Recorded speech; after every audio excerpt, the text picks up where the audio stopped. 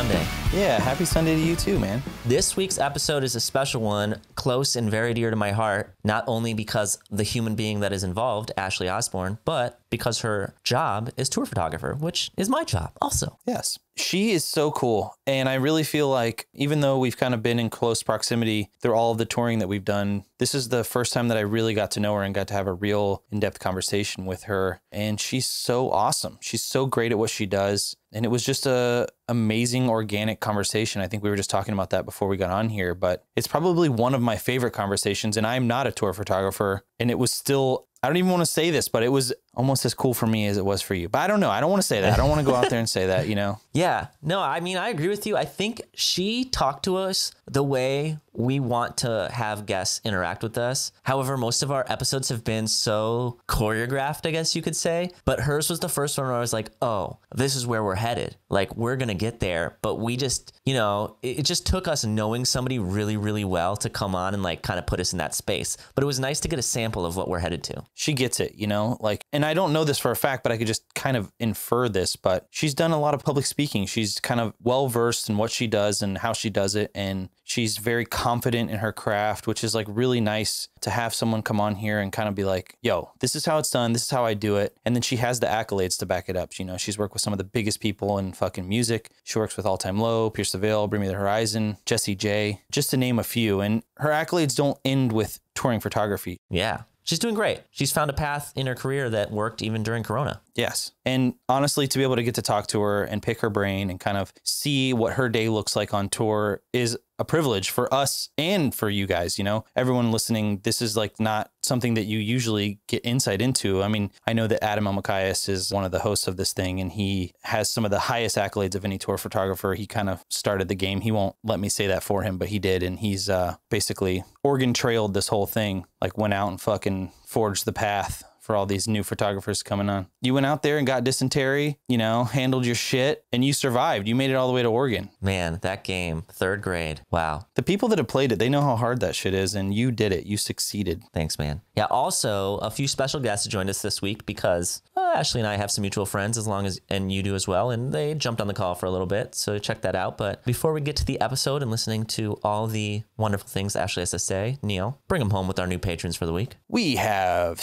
Cedric and Jackie. That's right. Thank you guys so much. Thank you, Cedric and Jackie. We appreciate you. All right, with that being said, let's move on and listen to the wonderful things that Ashley Osborn has to say about being a tour photographer.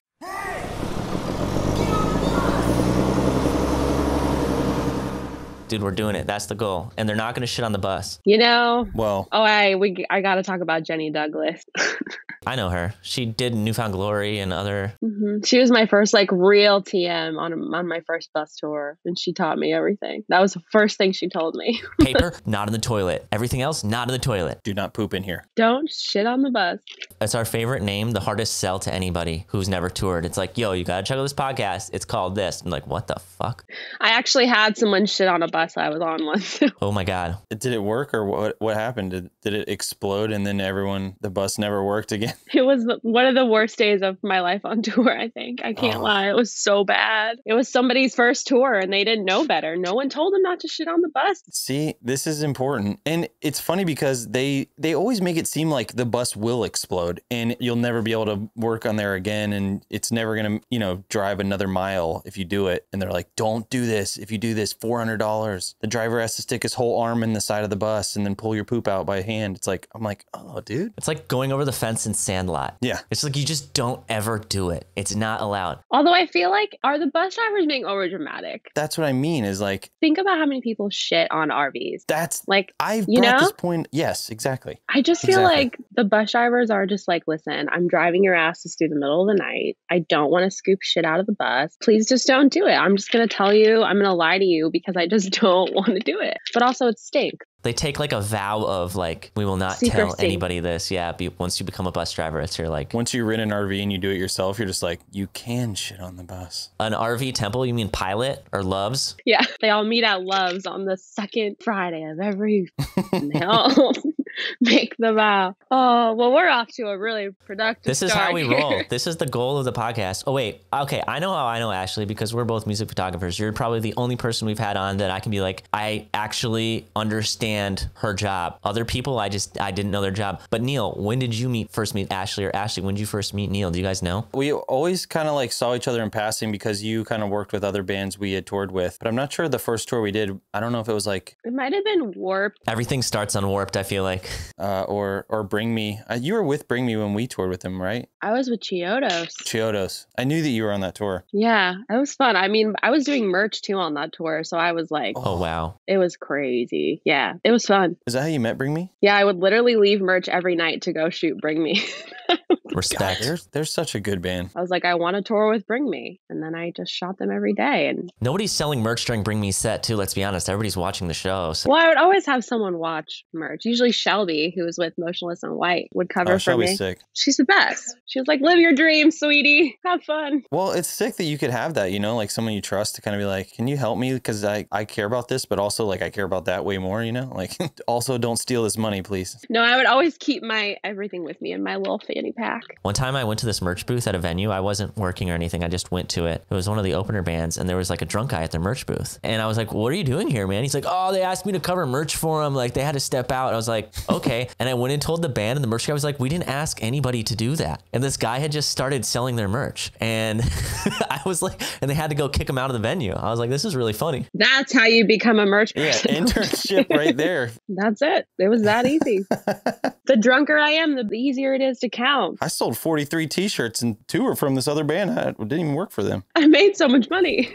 oh my god. Well, that I feel like Warp Tour is where everybody kind of met. I miss it for that reason. I miss it for like you know meeting people that you might not tour with, or I don't know, just meet everybody in the industry. Yeah. Every type of person. I miss it. For, yeah, the same reasons. Just magical. Just getting to meet all these different people and make so many new friends and learn from so many other photographers and creatives. Every day is like a new opportunity to shoot something different. It was just, there's nothing like it. Getting yelled at a lot. Getting kicked out of the pit. It's like such a hard tour to do. And it's like the fact that everyone's just doing it, you're kind of like humbles you and like breaks you down. It doesn't matter like what level band you are or like who you work for, you're like humbled. Even like the biggest bands are like, you're playing today at 11 a.m. Have fun. I'm like, I just woke up four minutes ago. Everyone's hungover. Yeah.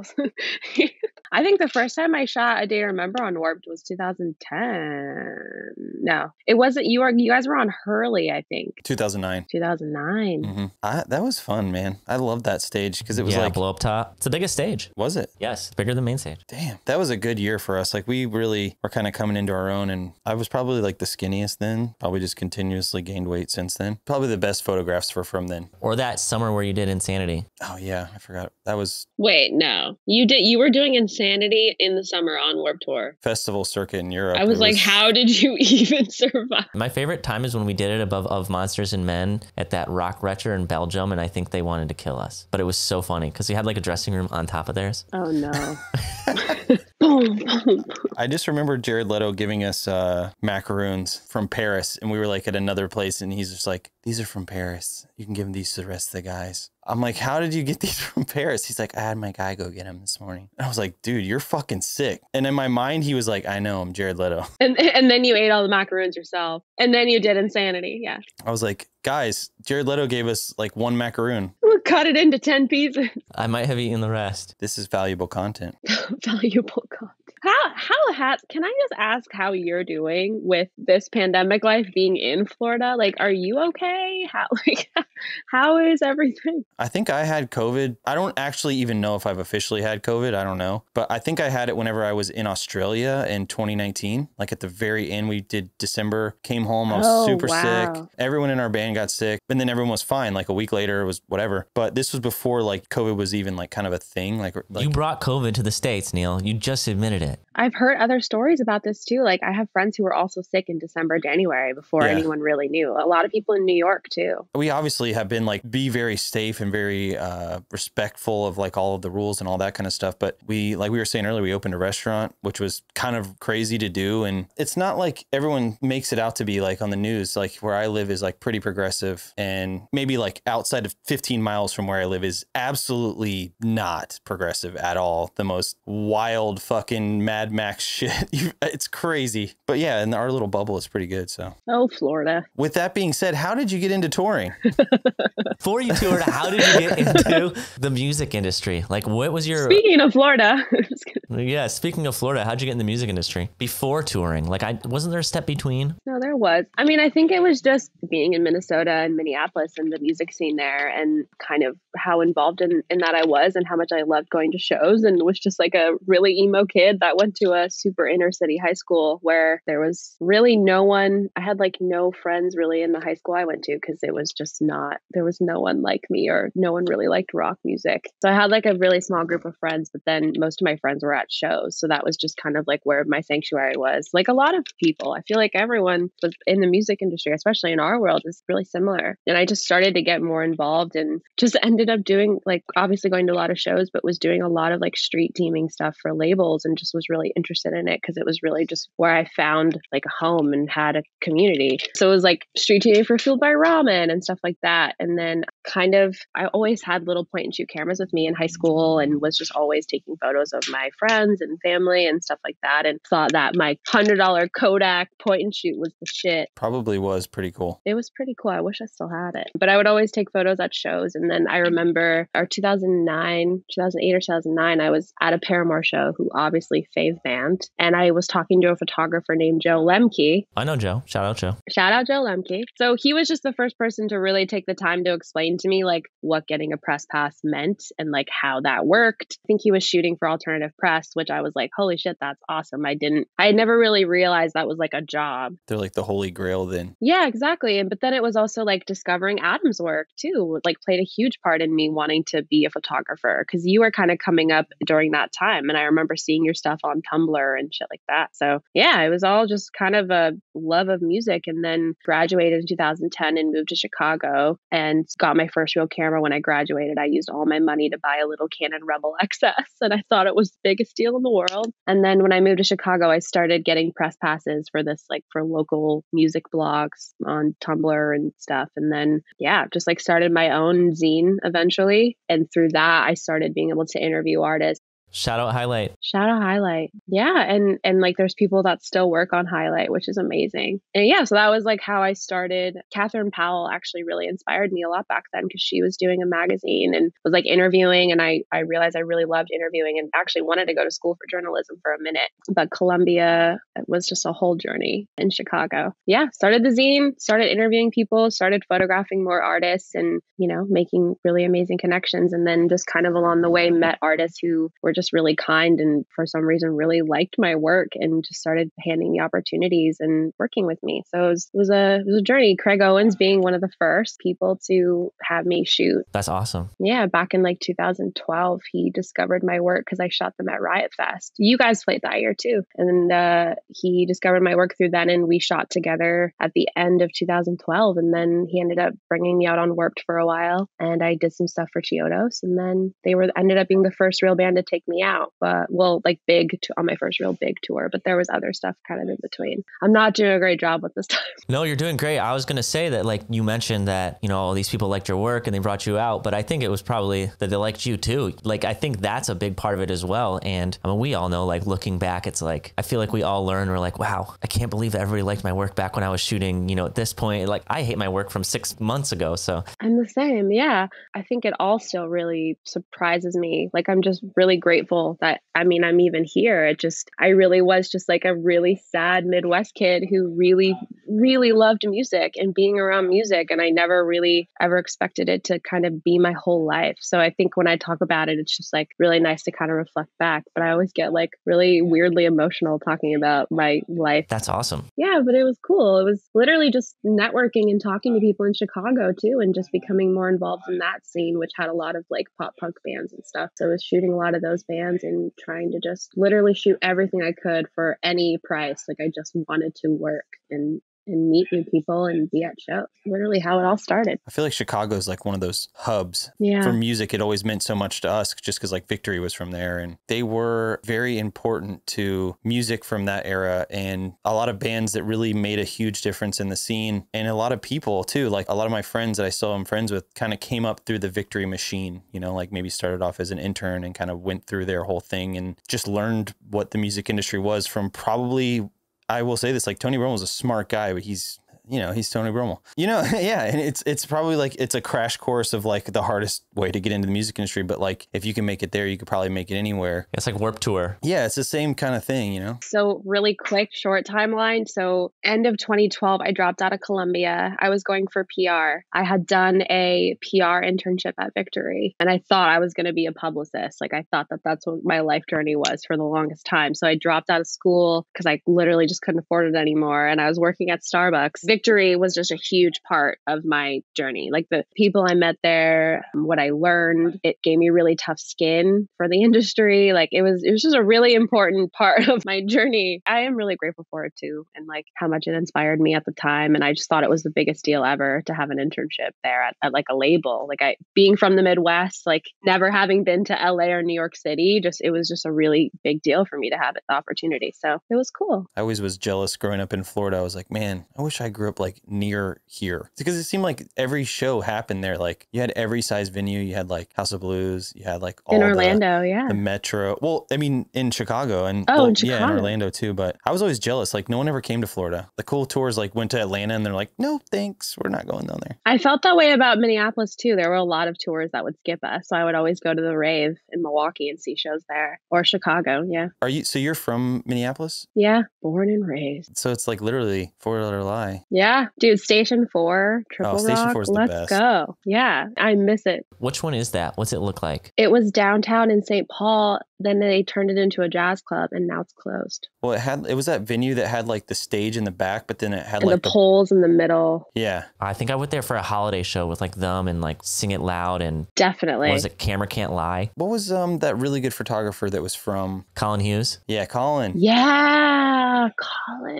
is a badass photographer. Yeah, he's my favorite There's photographer so in the many whole good world. photographers from Minnesota, Wisconsin. It's amazing. Maddie. Yeah, Vogel's Come there. on. There's so many good artists, like music, photography, art in general from that area. It really felt like it was nurtured up there and it's pretty badass. Like, I mean, Frank Lloyd Wright, let's go. Come on. Yeah, yeah, you love the Frank. Is he from Minneapolis? I thought he's from I don't know. He's got a bunch of buildings there. So, oh no, Madison. I'm thinking of Madison. Sorry. Come on, man. That's my hometown pride. Don't take it away from me. Love Madison. I, you know, my other journey out of out of high school was supposed to be me going to Madison. I wanted to become a nurse and I wanted to play fast pitch for Madison. That was my original journey in life. Play what for Madison? fast pitch.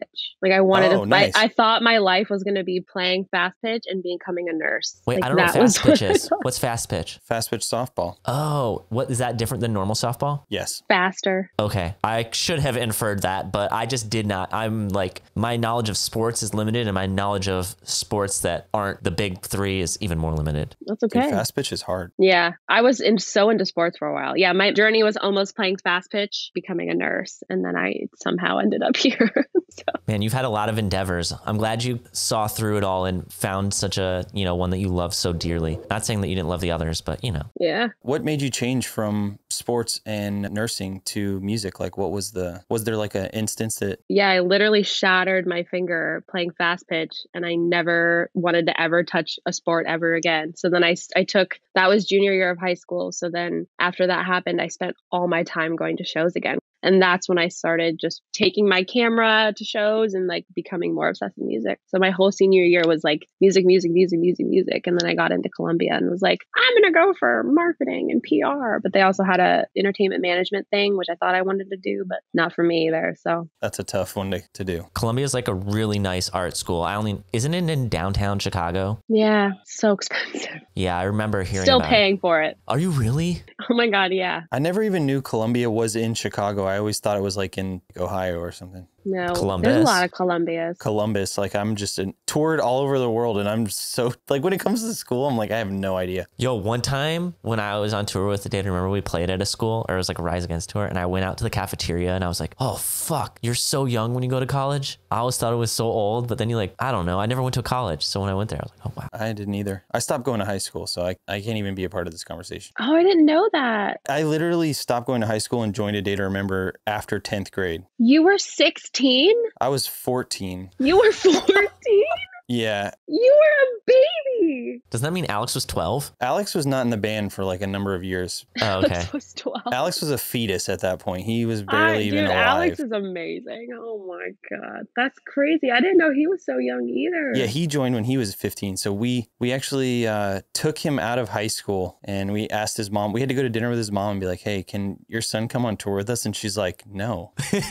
and we're like, "We're really good guys. I am basically like old enough to be his older brother, so we're gonna take really good care of him." Me and Josh kind of were like Alex's older brothers, and then his mom's like, "Okay, fine, but he has to be back for school in two weeks." And we're like, "Yeah, sure, that's gonna happen." Oh my god, I didn't know that. That's amazing. Hey, it worked out. It was crazy. You gotta take the leap. Enough about me. I know, but I think on that note, like I guess the next part of the story is how I was working at Starbucks from like every day in 2013 from like 4:30 in the morning to 1 and then I would take a nap and shoot a show pretty much every night and through Tumblr had met Lynn Gunn from PVRIS through like a mutual friend and they ended up being the first band to offer me a tour. So PVRIS and I did our first tour I love together PVRIS. She's so badass. in 2013 we were the first of five bands and it was a skylit drive headlining with wolves at the gate i the mighty for all those sleeping and PVRIS being the opener band on that tour and, and we did it and i did merch and tour managed and did photos That's and what it that takes, was, though. It does. i quit my starbucks job and was like i want to tour for the rest of my life That's when it became like a real thing. You were getting paid, or was it like per diem, or were you like actually making like a salary, or like how did that work? She had to load the van, and then they gave her dinner. I think I can say this. We were making like a hundred bucks a show. Like it was like we made no money. I was getting like a five dollar per diem. Yeah, literally. And then my tips from merch, which were actually great because we were the baby band. So What'd your tip jar say? Yeah, I have a Oh, good I say. don't Yeah, remember. I think it was Polaroids of the band. Oh, that's cool. that is cool. You were creative directing even back then. It just wasn't a title yet. Your tip jar needs to look on brand. You know, we were trying. It was like the coolest thing. Still, my favorite tour I've ever done was that tour. It was my first time seeing the whole country. That's awesome. the craziest stuff happened and it was a lot. It was the hardest tour I've ever done and the best tour I've ever done. So that was what made me could be like, I gotta go. Uh, But I just wanted to tour so bad.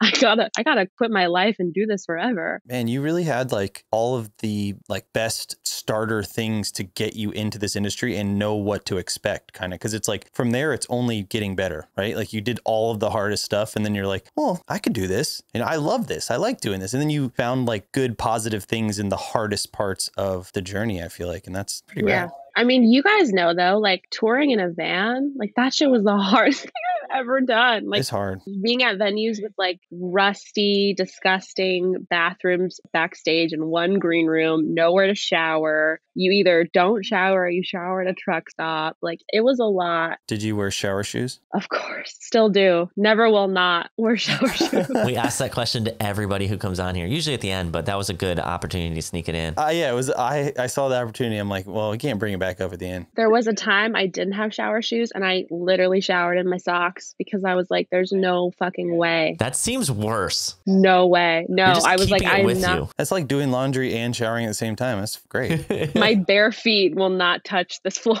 like, no. Just get out and dry them out. You're like, yeah, clean socks now. just rinsing them in the sink. Pretty sure that's literally what I did. So that's how life was back then. That's We how were- it is. There was a time where we were like, we just started being able to do well, like being able to pay ourselves. And I remember just being like, I am throwing these socks away and I'm buying new ones at Walmart and I don't care. That's awesome. And I don't care. Yeah. In my mind, I'm like, I can't waste this money. I'm like, this is the only money I'll ever see in my life. I can't buy new socks every day. That's when you've made it. I actually saw that on MTV Cribs. It was like I don't remember who it was. It was like some R&B singer. I want to say it was like Usher. He's like, I wear a white T-shirt every day out the packet and I throw it away. And I was like, damn, that's sick. I want to do that. And then I like realized like actually like how wasteful that is. I'm just like, no, I can't do this. This is ridiculous. Oh my god! Remember when things were just when dreams were felt just that achievable? Like just, that's When- all it was. Yeah, like the I most like just want a new T-shirt every Ah, just let, I want to wear it out of the pack. I even hate t-shirts out of the pack. It's like they don't They're ever. itchy. He did that every day. What a psychopath. Who even? I'm like scared to admit that's what I used to do on a Day to Remember tour is, and I, I used to buy Hanes packs and just wear the white shirt. I feel like you wrote about this on a blog or something once. I swear. You didn't have a suitcase. Yeah, so I'd buy it on the road. I just remember realizing it was weird when I ran it by, actually in Chicago, my friend Aaron, I was staying at his place and I ran it by me. He's like, You throw them away? I was like, Yeah, I need to go to Target and get some more. He's like, You wear, you throw them away? And I was like, Yeah. You don't have anywhere to put them afterwards because you don't have a suitcase. Yeah, I got, I got lenses. I don't have room for shirts. I got glass. Adam, you were like you were the first person that I knew that was like the most minimalist person, and the only thing you had was gear, like photography gear, and you protected it with Ashley your life. back me up on this. How? I get, I mean, listen, it's so hard also as a woman, just having to not overpack my shit because it's like when I would go on tour, I'm flying with my fucking massive think tank roller bag and I've got either another suitcase or a duffel. And it's like having to be minimal while traveling with all your gear as a photographer sucks because if you're in a, in a band, you just have one or two suitcases. But no, we've got like a 60 pound fucking carrying case and a a semi truck for his gear. What do you mean? No, I mean I can't imagine being like, all right, let's go on tour, and it's like me with my guitar rig, like Yeah. tied to a rope behind me, and I'm just like walking, or you know what I mean? It's like I can't. You guys literally did that. You literally showed up, and you're like, I have everything I need to do everything I need to do with me right now. but it was so uncomfortable every time showing up, especially when I was like showing up to work for an artist for the first time on tour. And I'm showing up with like my actual suitcase and this other suitcase and a backpack. And I'm like, hey, I live here now Yeah, on this I mean, moving house. that's what it has to be, right? Yeah. Okay, so now that you've like done all this stuff to get you ready for touring and you get on the road and I know you tour managed and did merch and did all this other stuff, but what do you think what are Tour the s- Yeah, tour managed, you know, you did, you did the best of your abilities. What uh what skills do you think you have that kind of make you a good, I don't know, photographer other than obviously taking good photos? Is there any skills that like made you that instead of a tour manager? Yeah, no, I mean, there's a lot of things that I learned, especially on that first tour. I think just on the note of touring as a whole, like touring taught me more life skills than anything else ever will. Like, I learned so much just about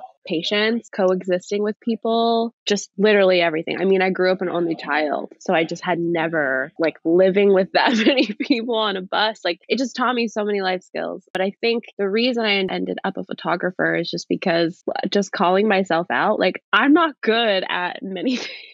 I'm terrible at numbers. I'm terrible at budgets. I'm just not my brain like I have ADD. My brain is just not I cannot do those things. Me counting in merch was like the worst part of my life. Like I just I'm not my merch trailer was so unorganized. Like I'm not the kind of person who can do that just be that in those roles. Like I'm just not. And I had an eye and I knew that I I could do it if I really just kept practicing and teaching myself. And there just was no other route for me. there was This is I what I, was got. not going to ever be the person doing spreadsheets. I was never going to be the person counting in merch because I just can't do that. Also, I can't, like, me dealing with people all day, every day at the merch booth was just so mentally and emotionally exhausting. Like, it's a lot of work. And I'm just, oh yeah, can't even I'm imagine. so much happier behind the scenes in my own little bubble, doing my own thing, being a fly on the wall. Like, I really do thrive in that environment. I just love being invisible and just like capturing moments and just doing my own thing. I loved being on the road so much, and I still hope that I get to for those reasons. I just think it's like the perfect thing for me. I really love it so much. Bring back touring. We I need you. I hope I just answered the question. I just went on No, a whole you did tangent. for sure. You did. You did great. It, it was awesome too because it was like kind of an explanation, but also kind of a story, and also kind of like a reason why, rather than just being like you're good at you know Lightroom and stuff. That's so you should be a photographer. There was nothing else that I loved doing more. There's never been anything else in my whole life that I've ever loved more than taking photos. Like that's just always been it for me. It was never and I'm sure you can relate Adam. It's like it was never one of those things where I I thought about it twice. It was just like I always wanted to take photos of everything and it, it was never like this is my career. Like it all just kind of happened on accident. I never really thought it would be where I would end up, but I think all these little things happening along the way kind of just led me exactly to where I needed to be, which is really cool to think about. I mean, I can relate, and I know Neil can probably relate too, especially when we were in our younger age. That like, yo, we literally didn't, we're not good at anything else. Like, I am not exaggerating. When I was in high school, I was like, everything else in my life on paper was a failure. When I found photography, not only was I bad at it, but I was like, I was gonna say good, but I was really bad at it. I just wasn't as bad as everything else. Like, and I was like, oh, I can stick with this. Like, and I actually liked it. Like, it wasn't painful to do. It made me feel like I was playing a video game. I was like, I'll do this all night. Let's go. But I feel the same. Yeah. I just want to say, like, seeing both you guys' work from kind of like early stages of your career from afar, you know, and Adam closer. Much closer. But what- me saying that is like, you guys had what is required. And like, sometimes like you can have these things that are taught. Like, you can teach someone how to edit a photo better, I feel like, or you could teach someone how to, you know, set up lights better or whatever. But like, you guys both had an eye and it didn't matter like what gear you're using or whatever. It was like, you could see it and be like, that's a good picture. That picture makes me feel something. And it was like, you noticed that even if you guys are hard on yourselves and say like, oh, our shit sucked or whatever. But I mean, cause I get that too. It's like our early stuff. I'm like, I won't even be in the same room if someone's listening to it. But you know what I mean? It's like I understand that. But you guys, you had what couldn't be taught. You had the eye, you had the thing that is important. It's good it can't be taught because we couldn't learn it. I also feel like there's an element there too where it's like I realize I think all creatives, and I've said this a million times and I will always stand by it, but I think all creatives are really like empathetic people who have a lot of feelings. Like I think all artists are, like every creative I know, like either struggles with their mental health or is really emotional or really like we're all just like so special and like built differently, literally, like every creative person I know. So I think for me, it, it kind of all kind of started from that, from me just from empathy and like wanting to be capturing those emotional moments and that's kind of why I always like went towards heavier music was because I just felt like it was more expressive I guess that was a whole other tangent I just went on but I mean, it is. It's it's just a, an expression of feeling, or and obviously the better artists are better at expressing it more complex ways. Or I didn't finish high school, so that was about as deep as I could get with that. My stepmom explained the creative thing to me one time and it finally clicked for me because what did she say Well, she worked for Kohl's and in the marketing division for a, a long time, and her job was to basically she would work with the creatives and she would work with the I guess we can call them suits or people who you know they're not creatives, and she would hate whenever they would talk directly to each other without her in the middle because the suits the creatives would be like throwing their emotions, being like I came up with this idea and this thing and it's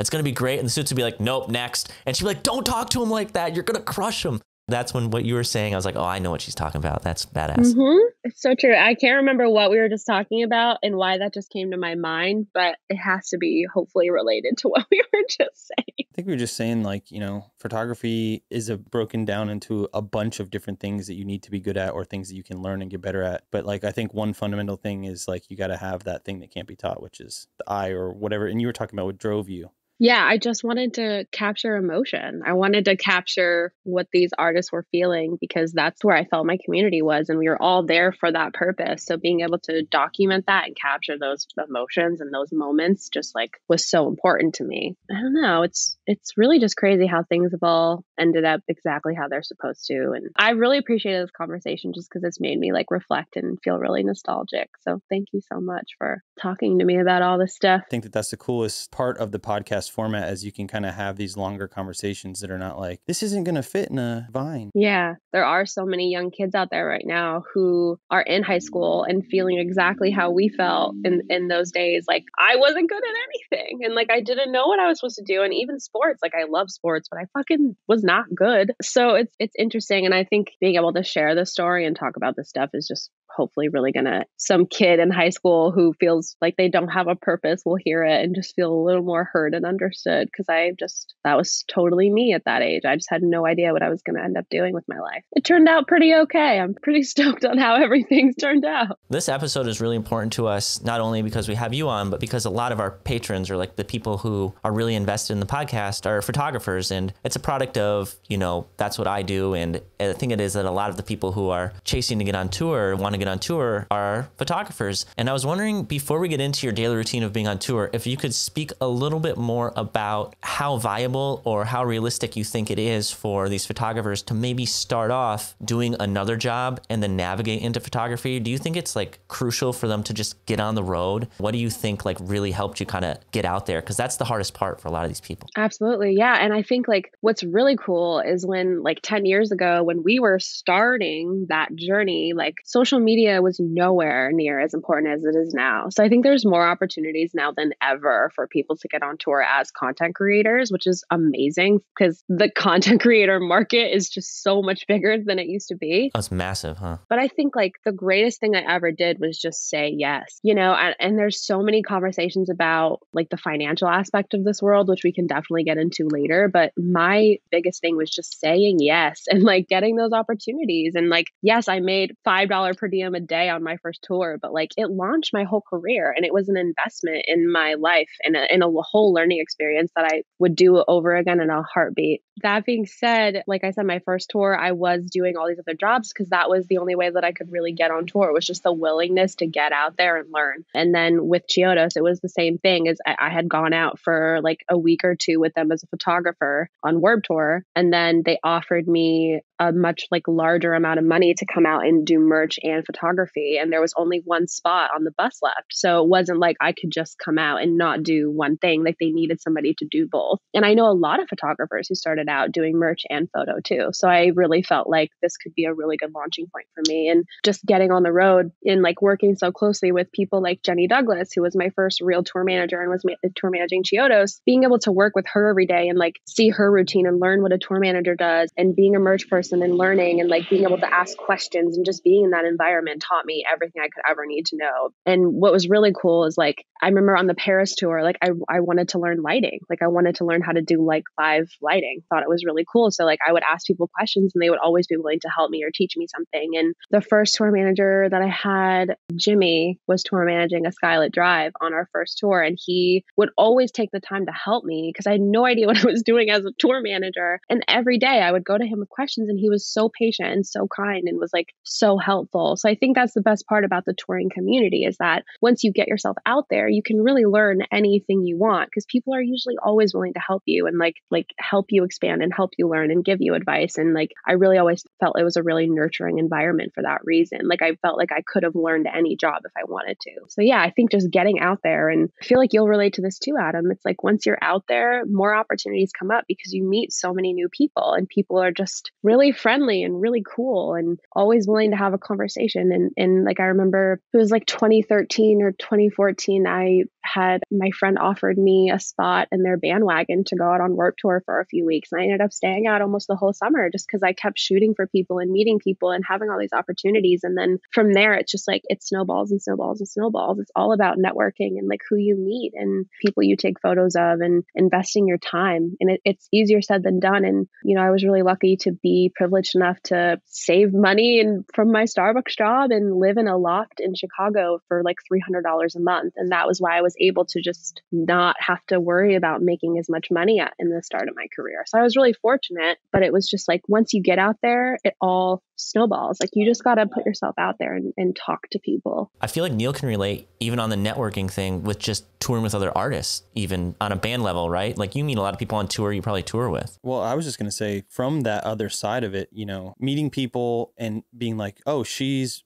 working for this band and they like having her around. You know, like even just that little thing kind of gives you a leg up from over someone who's like not already out on the road, you know, like mm-hmm. they can do it. They are around people and they're all having the best time and then it's working and, and that's the thing a lot of times is because you do live so closely with people is like are our personalities going to work you know? Like are, are we going to be able to be in a van together? Are we going to be able to be in a bus together? And because everyone is different, especially creative artists, people. You know, you said we all are special in our own ways, and it's true. A lot of us are difficult to be around. It's a lot of energy, you know, and and kind of seeing other people, like seeing it work, and like seeing other people's work, and then seeing them every day, and being like, oh, they killed it on that tour. They definitely can do it. Let's ask them. Let's do it. Let's try this. That only happens from being out on the road and that only happens from being around. Working really fucking hard and like just shooting and and adam i know you can relate like every time i saw you on warped tour you're running around like a crazy person shooting every single band shooting every single person saying hi to everyone like you were the guy.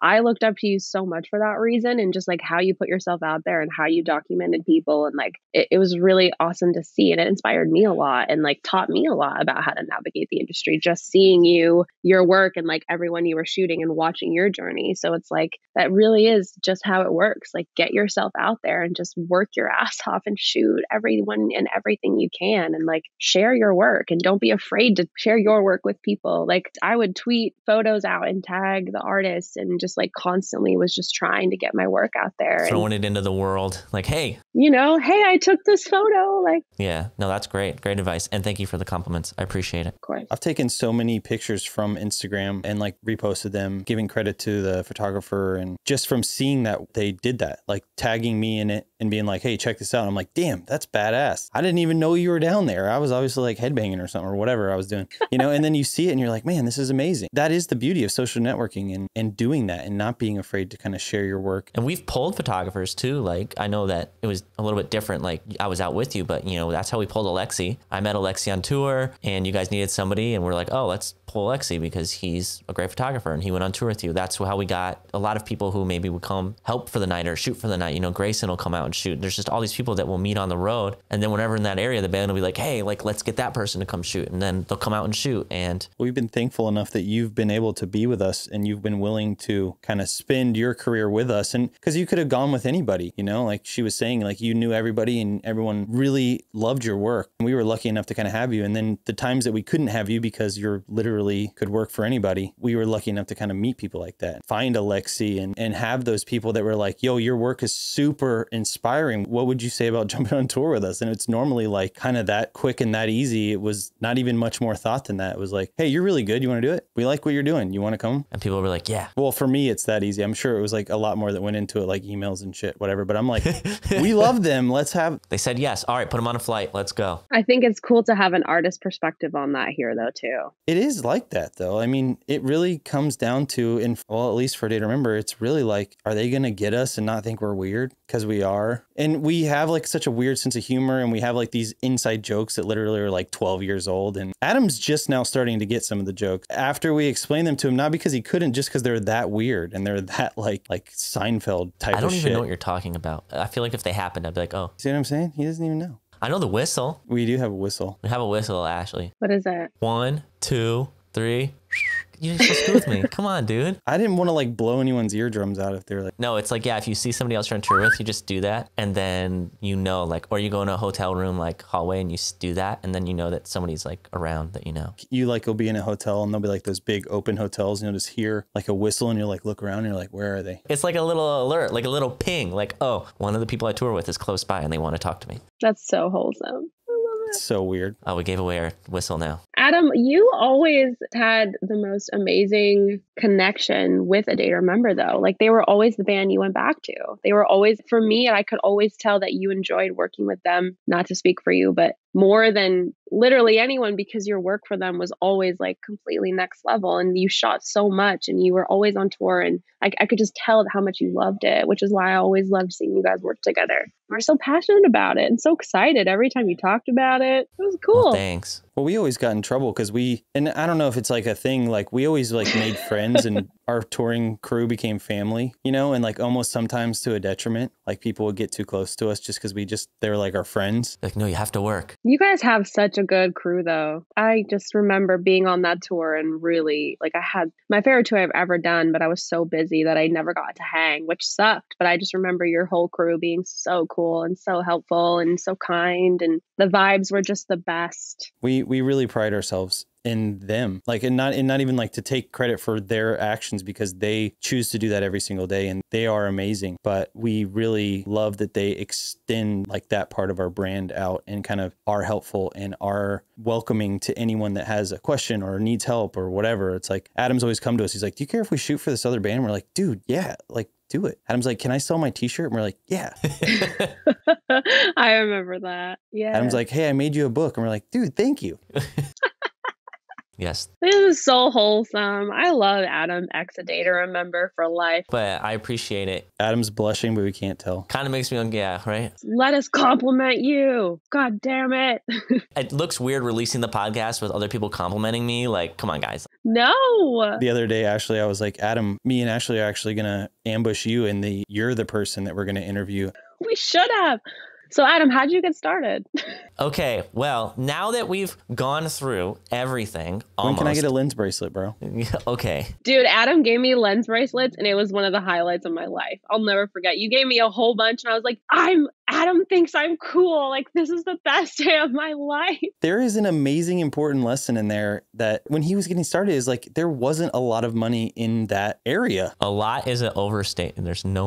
It was no hard to justify for us too because it was like we're not like Bring Me the Horizon, who's fucking massive on social media. We never were, and Adam had to like teach us. I literally remember him being like, oh, "Guys, Oh, yeah, we did have coaching. yeah, it sounds like a joke, but we're like all dorks, so we're like, I don't want to post pictures of myself. Like, it's weird. I don't know. Like, I thought it was weird because I'm Adam, like, I posted your photos. Why do I not have more people following and liking my photos? Guys, you also need to post. Self- what? You told us.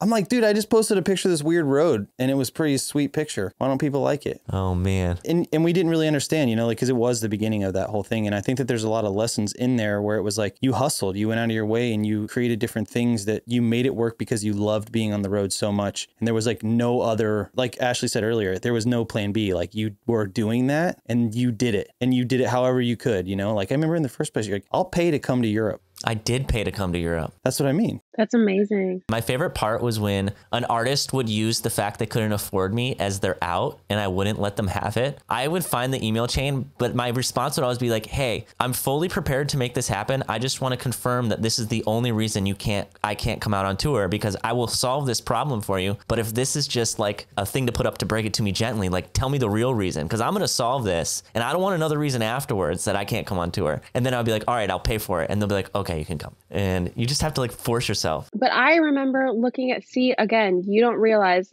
how much of a rock star you are because I remember looking at you doing that and being like, wow, he's figured it the fuck out because you were selling your prints. You had the most organized and put together print store I've ever seen to this day. You made the algorithm that did not exist that allowed so many photographers to also do that and take that path. Like you really started that for so many people, including me. Like I'll be honest too, just because you know you said you paid to go to Europe. Like I, my first big tour with Bring Me that I did when they took me out, I didn't get paid a lot of money, but I because of you, I negotiated that I would be able to sell prints, and I ended up making to this day more money off of that tour than I have on any other tour I've ever made because I sold prints because you did it for so long. 2015, not to get dark, but I, in May of 2015, I had lost my best friend and I was going through a really rough time and I didn't really know what I was doing for the rest of the year as far as my tour plans because I had just come off of Pierce the Veil and uh, you put me on Pierce the Veil Teamwork, baby. you work for me. I got a call from Kate Truscott offering me Warped Tour to go out and shoot for like it was like seven hundred dollars a week shooting for Sennheiser and like having to hang up Sennheiser banners all over the fucking tour every Wait, so you know someone at Sennheiser? Yo, you got a plug? but then that same day, I got asked to do the Bring Me Fall Run and like had negotiated all of that. And I just remember feeling like in disbelief because I was finally going to tour with them and I had wanted to for so fucking long. And but yeah, I mean, it ended up working out and I toured with them for like a year and a half and it was amazing and really grateful. And it was all, but again, it was like the networking and the journey and like sacrificing to make it work and thinking I was going to make no money off that tour and it was going to be a one tour thing. And then a week into the tour, they offered me the rest of the cycle. And I was like, Psych, gotcha. yes, Coming with us. but you're going to pay me. And they were like, okay, well, and then I didn't sell prints after that. Or I think I, I don't remember what I like, Can I go back to the prints thing? It was actually a pretty good it was actually awesome.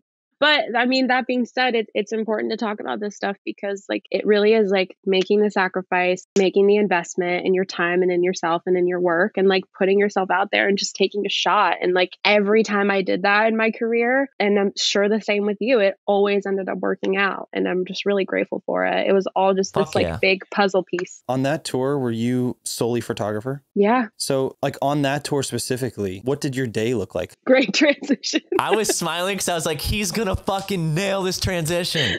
He's gonna do this. Guys, I'm getting better at this. Come on. You're doing so great. Besides not shitting on the bus.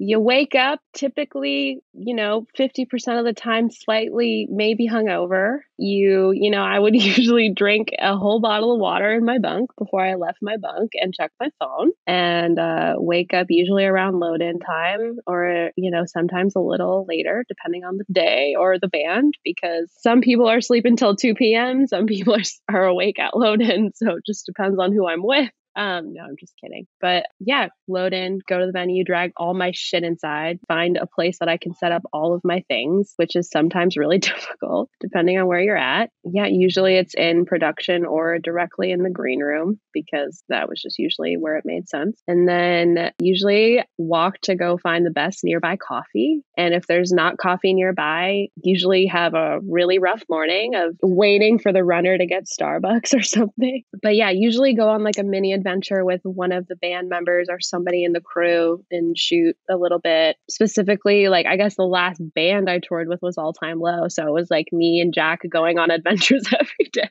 for until sound check and then yeah sound check and then you know I think these days it's important to note too, like with content creation, usually I was doing social media for the artist while I was out there. So it's like getting the marquee shot in the morning and like making sure I'm getting those key assets that we need every day and like getting the tweet up if there's still tickets or if the show's sold out or going and taking photos of the fans outside, things like that. Just like making sure the stuff around the venue is covered. I should probably include actual parts of my job and no, you're good. Not just my day of me fucking around. It's all good. All of it is viable. You said you shot the marquee. Like, why would that be like a key asset for something for social media? I don't know. They just always wanted me to shoot it. just feels good. Aesthetic. Since you were doing the social media, would you kind of like post those things like to? I'd usually post it on like IG story, just like tag the location so people knew we were there. Like you just never know. Yeah. No, that stuff's important. And for me, like it's that wouldn't be intuitive for me to think about. And I think that's kind of a cool like little tip or trick, you know, for someone who's like kind of working for someone and creating content. I always love doing the Instagram stories because it was like, you know, every day I'm kind of documenting, especially with All Time Low. It was really fun because I was like documenting their day every day, kind of behind the scenes for the story. And like they had never really done that. So we got to kind of watch their fans engage a lot more that way. And then it was really cool because like every day at the start of the day, it was the marquee. And then I would always try to end the day with like a sign off or a photo of the crowd or something. And then it was like the next morning, it would start all over again. So it just looked really clean. And I just really liked doing it. And like kind of creating like that timeline too of like, yeah, this is the beginning of this day and this is where we are. Mm-hmm. That's cool. Always like messing around too and just getting funny content or annoying them by making them do liners or talk to talk Instagram. Do you know about that, Adam? Liners? Annoying the band or trying to make them do stuff like for you, like that they don't want to do. Yeah. Yeah, but the stuff I'm annoying them to do isn't for me. It's for their own good, but they just don't realize or want to acknowledge it. That's actually a better answer than mine. Yeah. I know we're paying you to be here, but don't fucking take a picture.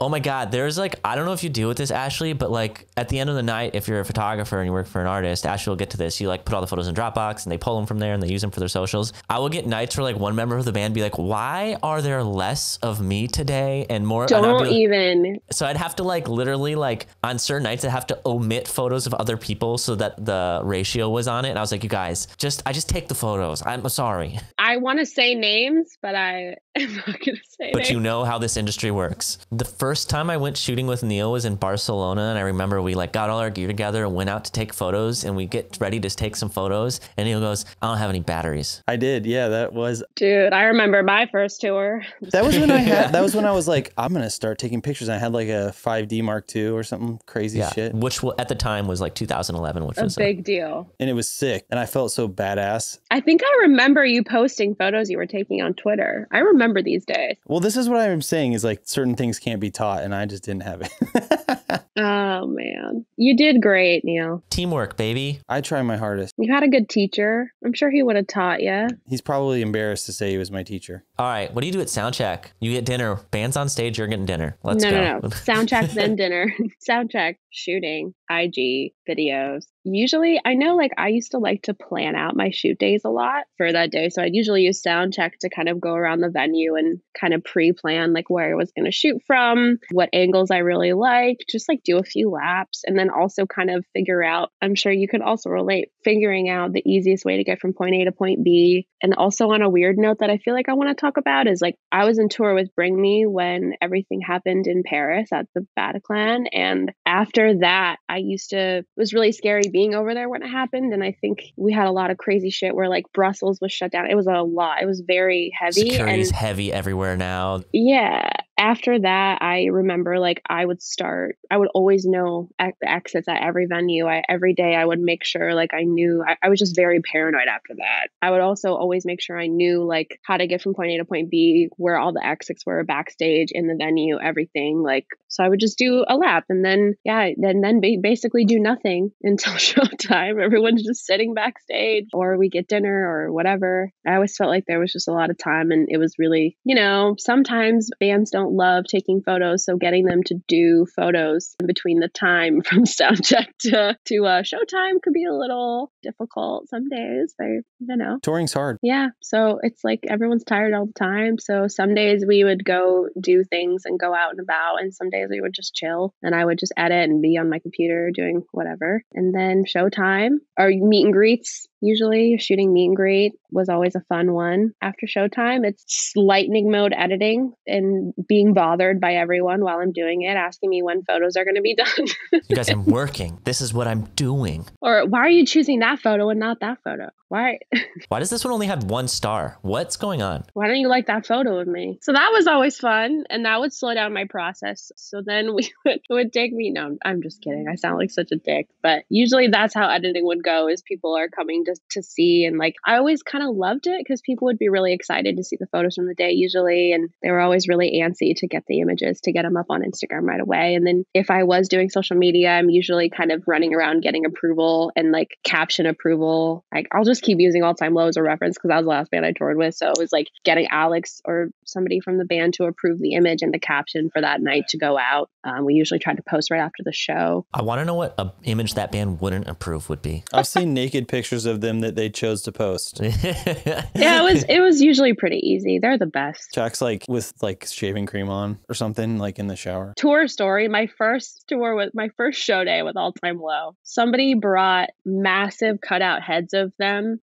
to yes. the venue. I was a little nervous. I didn't know them that well. I was sitting in the tour manager's office with Matt Jara. So they're about to get ready to go on stage. So we go over to the band's room and Jack grabs the cardboard cutout of his head and is screaming, running around naked. and he goes, said something along the lines of, Welcome to tour. Blink 182 broke all of us. We're all normal people. And then they came along and were like, it's okay to be like this. Yeah, that was usually what was going on behind the scenes. Sounds about It right. was great. Naked people on tour. It's pretty normal, actually, I would say. Naked band humans on tour. yeah, it's like you're home. You got to feel comfortable. Got to be naked. I get asked about this a lot, and I think I should. I don't pull the woman card frequently, but I think I should address it for any woman who wants to tour as a photographer. It's like people do ask me this all the time, just about like boundaries and people being naked, and it's like it's never bothered me, and I've never been offended, and it's just a part of the job, and it's like you know just being really respectful of people's space and like I I don't know if I can say this, but like that if somebody's naked around you, they like trust that you're not going to, I don't know, yeah, there's a big trust there. And it's not like everyone anyone was ever like naked for no reason. It was like the guy's changing. It's like, yeah, okay, And great. then Like you have to run around for a bit. got to get your steps in. You know?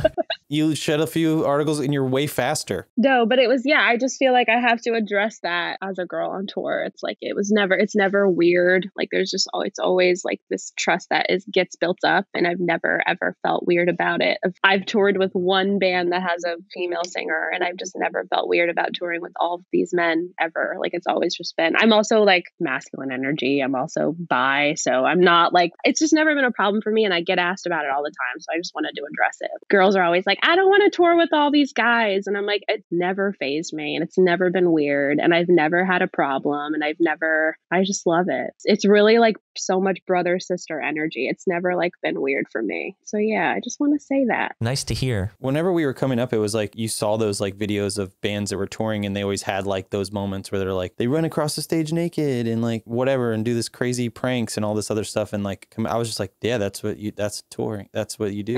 It's literally if what there's it- not like someone naked, then it's like, are you even touring, you know? if nobody's naked, are you even on the road? Yeah, exactly. You know, and I guess I'm, I'm like just thinking about this now and I'm like, man, it is a different thing. It's a it's a weird thing. I never thought about it. I was trying to think like from the reverse perspective when I had toured with females as artists, and I've only yeah, I was trying to think if the female ever ran around naked and ever had that like you know energy. I grew up with sisters and they do. I had like it was like me, my mom, and two sisters, and yes, Florida. but like the female I toured with was Lindsey Stirling, and she's Mormon, so it was like probably the directly opposite. No, we should talk about that too, Adam. Like, what was it like for you as a man touring with a woman? Like, h- like how did you respect that boundary? Yeah, it was just like I was trying to think. I was like, well, she definitely didn't run around naked. She was like pretty far from that, right? She is Mormon, raised Mormon, so like we couldn't swear on tour, drink, no caffeine. I loved it because we got to play board games, which is like my No freaking stomping grounds. Uh, Mormons don't do drugs; they don't. Caffeine counts. Oh wow, I didn't know that. So you couldn't have coffee, like even off. Not on the bus. They would get it, but it wouldn't be like available on the bus if that makes Okay, sense. okay, okay. I was like, I couldn't.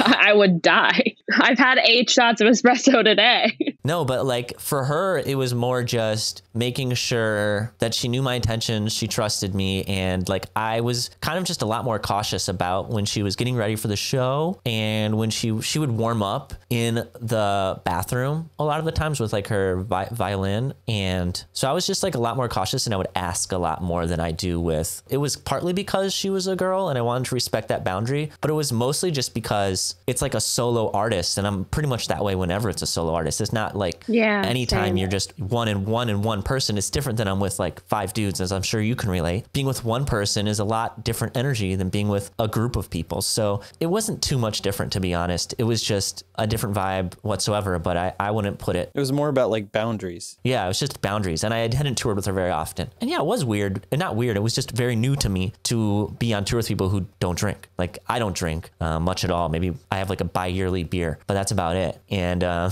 my girlfriend and I got a bottle of wine for Valentine's Day, and there's this much gone. It's like so and you bad. guys I were was probably like, wasted. dude, we're going to be at this park for a while. We ordered a bunch of stuff off Amazon. We don't remember.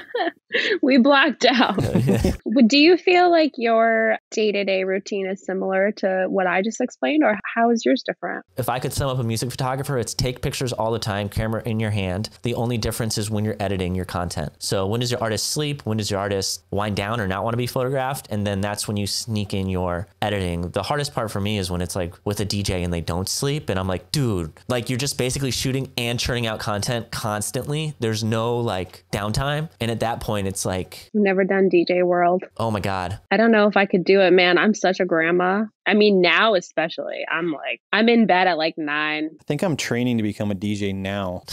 because your daughter, Yeah. daughter is DJ training. You have a kid, you don't sleep. When they become two years old, it's like you can go on tour as a DJ. I feel like I could probably work for one. I definitely can't create the music that they do because they're amazing, but What else, Adam? What else? What else do we need to ask Adam? No, no, no. Yeah. See, I, I really felt like you did a good job there. Maybe Ashley needs to be our third co host. Just every once in a while, bring Ash on. Yeah, she just pops in and she's like, guys, she's like, ask the perfect question. So, Adam, tell us. I know that this because I know you, but I, uh, you always talk about like kind of like making time for yourself and kind of having that time. Like, I know that your, your time, Adam, is early in the morning when everyone's asleep. Is there, is there a time that you kind of do that, Ashley? Same. Yeah. That's usually my like coffee solo escape time. She's good at self care. Yeah, dude. Oh my God. Bubble bath Sundays off was always my number one. I was going to say lush. Yeah, let's go. So much lush. Yes. like walks, just so many walks. I've always really struggled. I think I've always really been open about my mental health, but I think on tour it gets really hard for me to balance everything. So it's really, really important that I get out every day alone. And even if it's just 15 minutes, like hang solo, you know?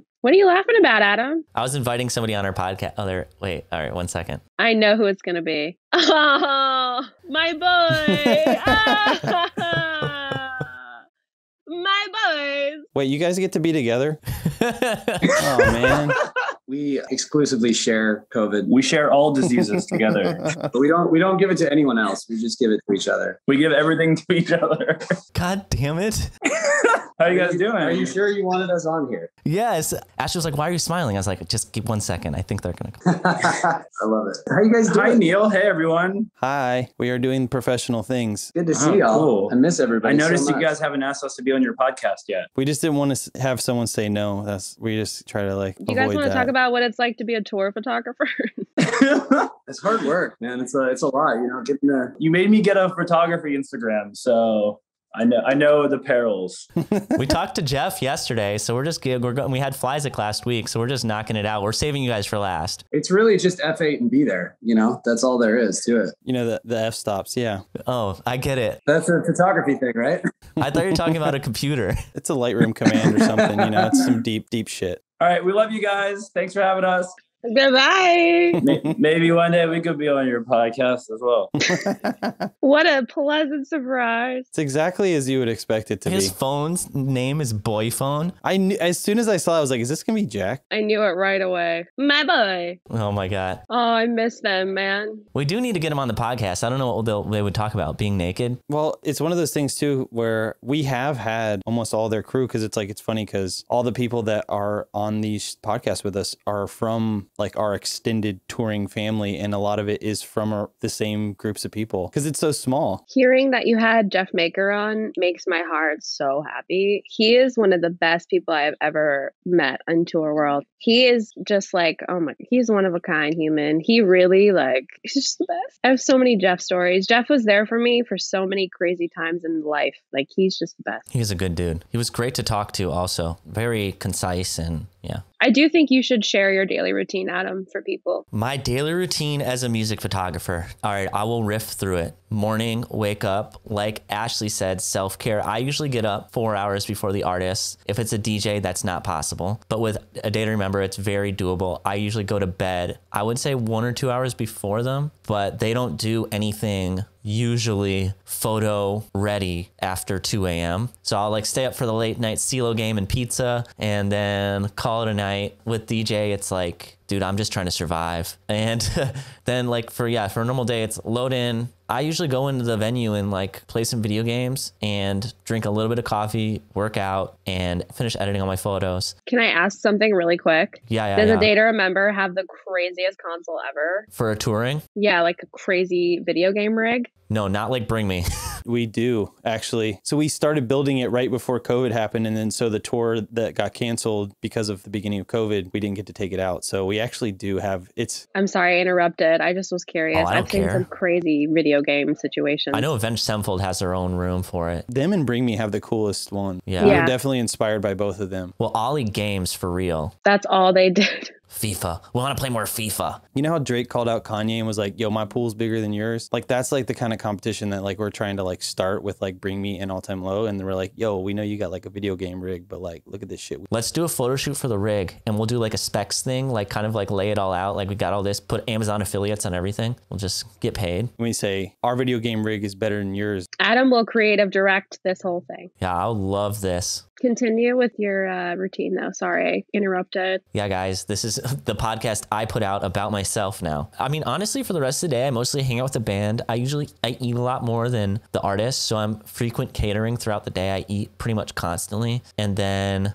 I edit at the end of the night and in the morning. And other than that, like sound check, photograph them. I just hang out with them all day. Like we'll play Fortnite, play video games, go walk around. Like it's really just whatever the band's doing, I'm doing. And then with the exception of I spend a lot of time writing down what shots I need to get every day. So I like kind of like you were saying, you map out the venue. I do that as well. But then I also map out shots on a per song basis. Like I have like a timeline that I basically make marks on and say who I'm going to shoot every day for that artist. You talked about that before, and I used to do something similar because you said that once. I used to like watch during tour rehearsal and note different parts of different songs that I thought the lighting was really great. You taught me that. That was Oh, you. hell yeah. I'm glad. Yeah, I'm glad that, you know, when you, basically are trying to identify on a daily basis, like, what can I do that stands out today? Because from the outside looking in, it can look quite monotonous. But from the inside, it's like you're working on these little things every day and trying to just get better and stay healthy, stay sane, and maintain a relationship with the artist that is. I'm professional, but also friendly. And like Neil said, like sometimes people get too comfortable. And I think that is a trap that people fall into on tour. And you notice that a lot. Like I feel like that happens in movies and everywhere. It's like, oh, you work for this artist, and the artist themselves is never going to be like, hey, you need to work harder. They're just going to fire you because that's not the artist's job. If it's going to come from a tour manager, it's going to come from management. And when you hear that, that means it's like you need to self check yourself a lot. And I think that's like self discipline and routine. Like if I wanted, I could play video games all day and the band would probably just be like, "Where's Adam?" But they're not going to be like, "Hey, you can't do this." They're just going to fire me, you know, because I can't take care of myself. At least that's what I think would happen. We wouldn't. Okay, well, they wouldn't. But with most artists, they'll be like, "He's not doing his job. He's out." I mean, I've worked for them for ten years. It's a little bit different of a situation. Well, we'd be right there playing video games with you. I would say that I could say what games we played based on what tour it is. We've done Minecraft, Diablo 2, Hearthstone, Fortnite. Diablo 3. I, I oh Diablo 3, not Diablo 2. Sorry, throwback. I think we did both. Uh, yeah, D2, D3. I remember playing them in Luxembourg City. We basically, literally, show ends, we get food, we open our computers and play video games for four hours. That was what I was gonna say. Is like, I know you guys say you look up to Blink, but one of the highlights of touring with you ever was when